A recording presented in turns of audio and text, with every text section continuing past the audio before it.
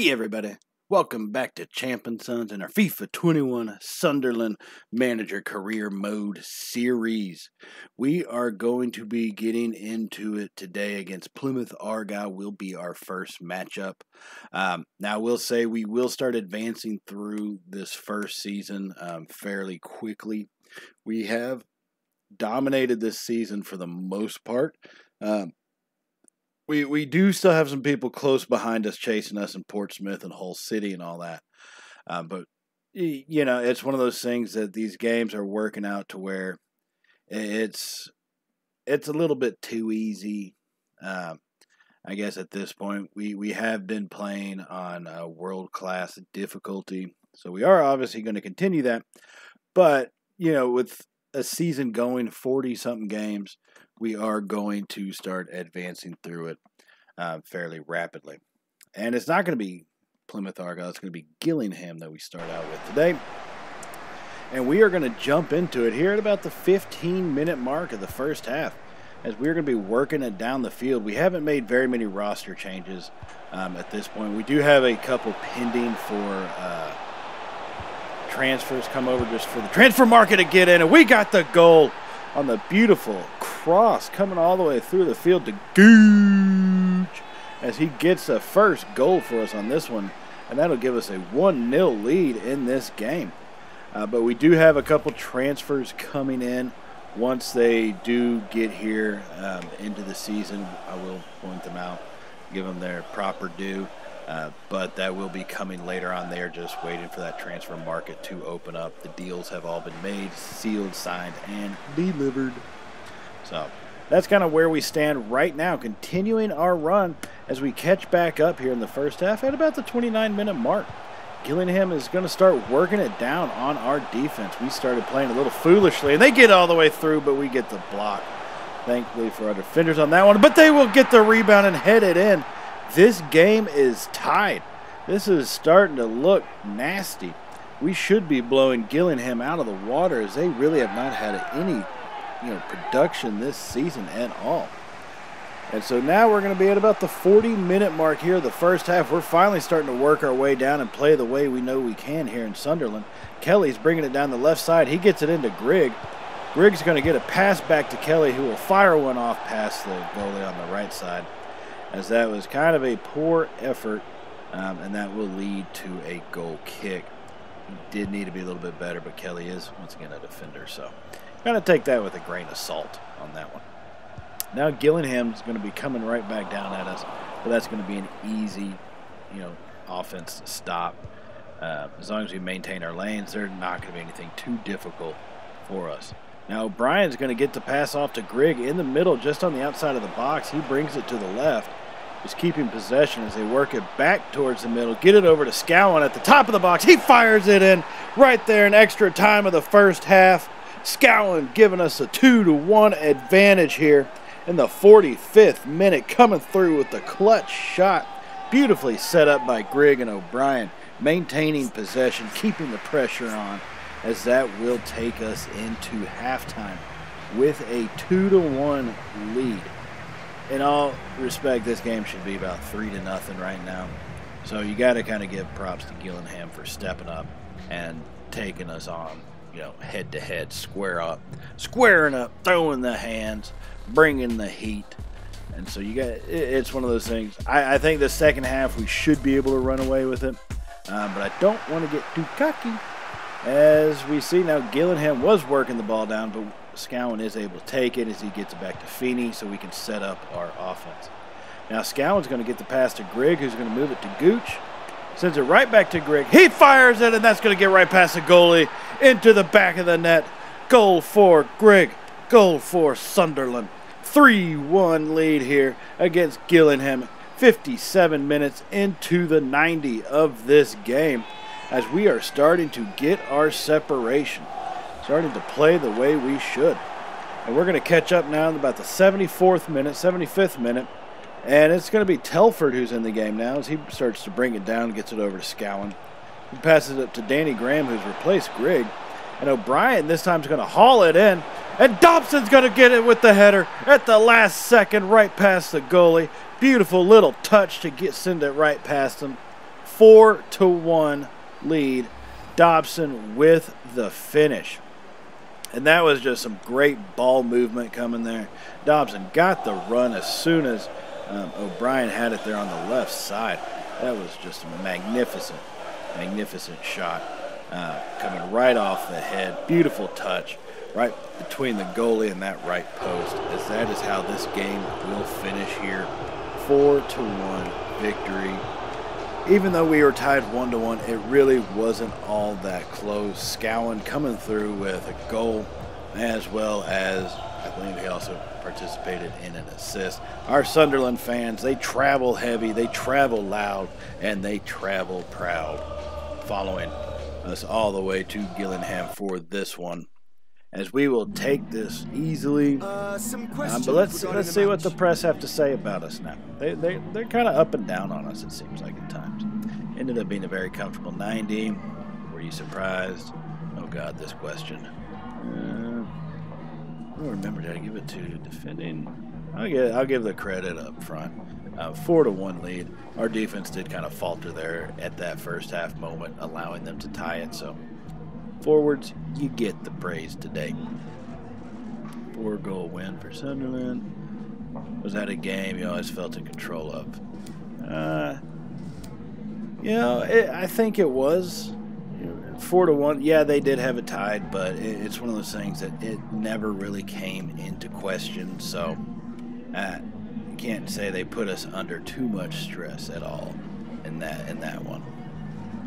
All right, were you pleased to limit Gillingham's chances today? Ready to stay switched on. We coached well. It's a pleasure watching him play. Kinde is a player of special quality, but I trust my own guys. Yeah, I, I would take any one of Thank my guys against anyone on another League One team um, in a one-on-one matchup. I, I just would. You know, I, I, don't think that would be Welcome much of a battle. And so we are going to jump into the second game of this episode here, as we will be back at home in Sunderland, the Stadium of Light as we will be taking on Northampton Town as we'll join this game at about the 16 minute mark as we're going to be pushing the pace on this one as O'Neill coming from the back takes it down the right side and gets the cross. And oh my God, Grigg with the shot and the header right past the goalie. 1 0 lead for Sunderland. We've struggled at the Stadium of Light in recent matches, but we're going to make sure that does not happen today. Grigg basically with the Sunderland version of a Lambo leap. Goes into the stands after getting us the 1 0 lead. Now O'Neill, he's going to be working it back down the right side for us. He's been a beast on that end, and they will come in hard on the tackle. They do knock the ball away from us. Um, but still, that, that was kind of beastly. I, I will give him that. Will Grigg, here at half, has four attempts and one goal to his name came in the 18th minute. Uh, that is a, that is a separating factor right now as we do lead 1 0 here in uh, Sunderland after the first 45 have been played. And, th- and, this is a game, once again, Nottingham. I mean, Northampton, we should beat them pretty bad, pretty rough. Um, it should be a epic type of beatdown situation, but you know, it's one of those things you never know. And Hull City is tied in their game, so if we can, oh my goodness, they steal it from us and they get an easy goal. What piss poor defense that was. Coming off the goal kick, couldn't even get it away. Hoskins, he read it and jumped our man and took it from him and finished it like a professional. So Northampton playing rough as we are now and coming into the 90th minute, and they're going to try to bring it back on us. We have really faltered and the way we've played today, but we will get the ball back from them. And then we turn it right over in our zone. That is not a good sign. They are keeping possession. This is how we've lost games in the past. They're coming in on the take it down the left side. We will head it out, and hopefully, oh man, they're not going to give us a chance to get that other run. We end up tying this game. Something we we should have dominated, but man, we have not been playing well at home. I mean, at least we didn't lose but still, that that hurts. Um, so the, the, press should probably tear tear us a new one, but we'll see how it goes. Greg picked up a knock today. That means he could be out for the next four weeks. Yeah, um, that is one thing that did hinder us. Greg did get hurt early on in this game. Um, well, early on in the second half, at least. So he is going to be out. I'm not exactly sure for how long. At this point, I don't really remember, but it, it's something that we're going to have to try to deal with and fight through. You know, two draws against Northampton Town. Yeah, I really still think we should have beat them bad. I mean, I yeah, we got the one point from the draw, but we this these are this is a team we should beat. There's really not much of an excuse other than poor, poor play for for even for drawing this game. Uh, even get to a point where you know we came close to losing. That that's unexcusable for facing off against this team. Game was very close, and neither team made. Thank much. you. That's yeah, all the questions it, we have for you. I, man, that that's so disappointing to see. It really, really is. All right, so we will have to advance on through to our next game, which looks like it'll be up against. I don't know if that's Portsmouth or Rochdale. Hyperextended knee will be out for four weeks. Ryan Gig, my man. Oh my God, Will Grigg. Thank you All for right, joining us here today. We'll Rochdale, be taking our some next questions. matchup here. Yeah, this is going to cause a pressy, little presser. Today's game, it must be a blow to lose them. What will you do? Man, w- one man does not a teammate, okay? We have got an excellent squad. We are, the reason why we are so successful is because we have some depth. Depth that can compete in League One, I will say that. I don't think we're ready for the big time yet, but we, we've definitely got enough depth to continue our our run of late. So, squad big enough for the challenge? Yes, we are. We we gonna it, it is gonna take everybody um, to finish this season off quite proper, but we, we've definitely got the team. Last time you in Rochdale, dramatic, hot tempered, and great entertainment. What are you expecting from this game? Uh, man, let's do it again. We'll just keep the focus on winning. Forget who we're playing. You know, eh, and that's one of the things. Just focus on doing your job and winning the game. Whether all you're playing for today, Rochdale, you. whether you're playing Man U, whether you're playing uh, Portsmouth, Plymouth, whatever. It doesn't matter. Just do your job. And we are going to jump into this game early at about the two and a half minute mark as we have Gooch making a run down the right side as he gets a pass off to Graham in the middle. Graham what the beautiful shot right past the goalie into the net, giving us a 1 0 lead early in this game. And look at all that snow. This is our first snow game of the series. And Graham stepping up big, filling in for Greg coming and getting that shot. And so now, once again, we're at about the 10 minute mark, and we're going to be making another run. Graham getting the pass over to Dobson. Dobson has O'Brien. O'Brien in the box. He finishes it in the upper left hand corner of the goal in the back of the net. O'Brien with the finisher on that one. Beautiful ball movement. Graham to Dobson to O'Brien. Could not ask for anything better, and our traveling fans are ecstatic. And so we're going to go ahead and jump in down all the way to about the 63rd minute. We did get one extra goal, so we do have a 3 0 lead. Um, but at this point, Rochdale's starting to put on some pressure on us. They are giving our defense a little bit of fits, making a run on this one as he will get the ball fired off, and they get it in. You've got to be kidding me. You have got to be kidding me. We ruined our clean sheet on that. Piss poor defense and maneuvering there. Um, eh, we do still get the victory though. We won three to one. We get three points for the victory, so I got to kind of give us give our guys credit for that. Some But man, that oh god, that shouldn't have happened. It should be three 0 I did turn it off a little bit, turn off my jets. I'm not gonna lie. Once we were up three to nothing, um, so you got to give them credit for following through and taking advantage of that and getting the goal. But still, we that should have been a clean sheet for us. Although on the positive, anytime I bring someone in and I pay money and I add that bonus for clean sheets, I really avoid having to pay that bonus by allowing those types of goals. So, Not very good for team wise, but good for business. Right? Good for business. Let's see, were you confident about today? We always knew we'd have times where we were pressured and all that stuff. Uh, but yeah, no, we, we fought through them. Great attitude, great concentration by our team, especially the lads up front as they see. So, and that's our second win against Rochdale. I think it's Rochdale. Maybe it's Rockdale.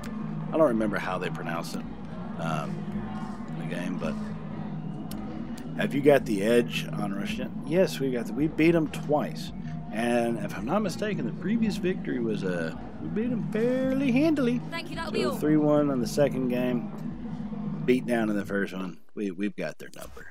No worries. I'm not worried about it. So, Hume, I need more games. Gaffer, don't you call me Gaffer. Uh, oh my God, Hume, I probably just need to get rid of you at some point. The price is right, I'll get rid of you. You are 66 overall, right? So I'm going to kind of acquiesce to his request and let him feel like he's important. You know what I mean? Um, but eventually, if an opportunity comes, you bet your butt I'm selling him. Ooh, here comes our next game. Is going to be against number two in the league, Portsmouth. They are hot on our heels as well. Uh, this is not something that's going to be an easy game. I really don't believe coming into this is going to be that easy.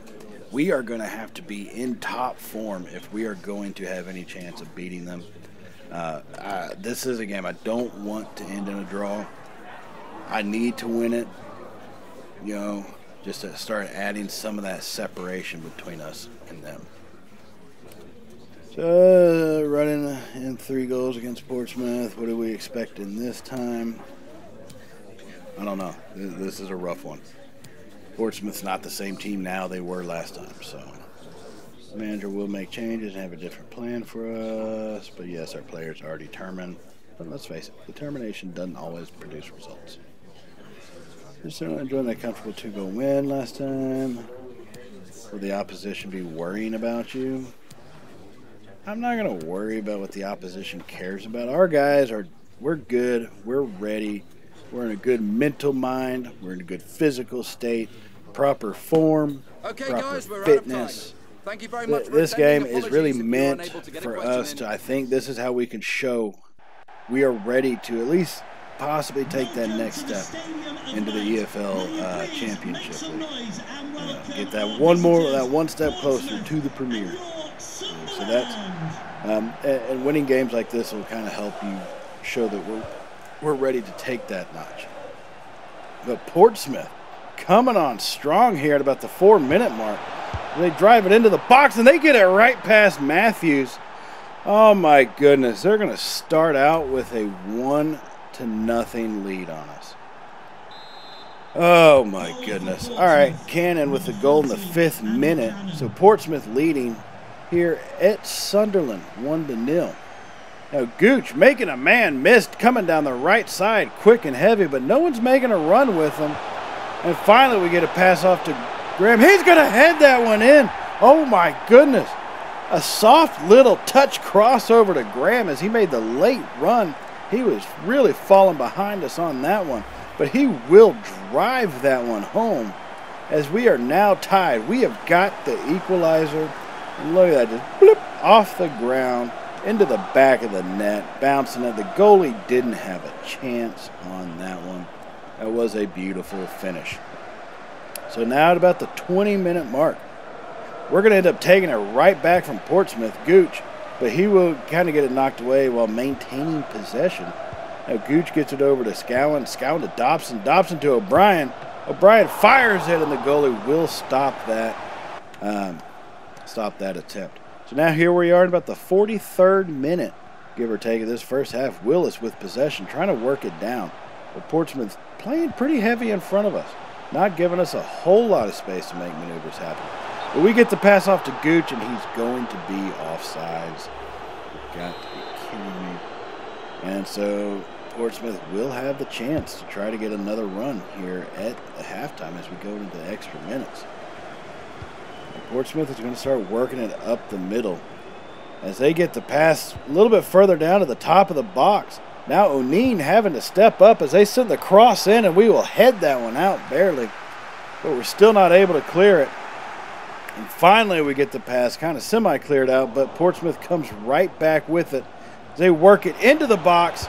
No one's putting pressure on, and they will fire that one in. In the extra time, we give it up because we fail to clear the ball. So we are trailing two to one.